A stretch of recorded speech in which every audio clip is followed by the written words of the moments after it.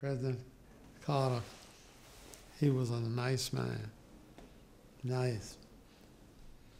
I know one day I come up, he said, Gene, have you ever been up to Camp David?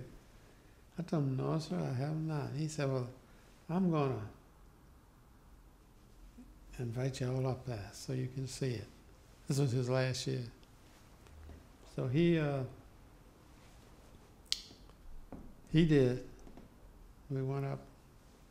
They fixed up a nice lunch for us. He showed us all around the cabin where they stay in, and all that.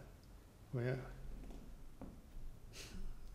I remember I was sitting down, there the second seat, and he walked by. He said, "Who's sitting here?" I said, "Nobody. Save that for me."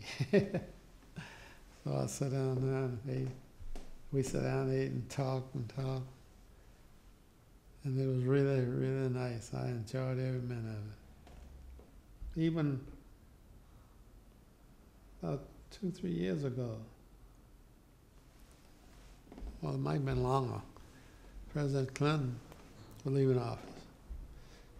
And I think he invited him up to Camp David. They left Camp David and came down to the White House and was going to spend the last night. And he told him that he, he, he, he would want to see some of the people there, and he was there. So they called me and a few others.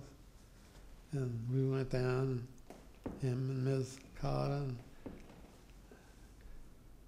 and Amy. Amy was about eight, nine years old when she came out. and Now she was married and had a baby. but it was nice to see him. Nice to see him.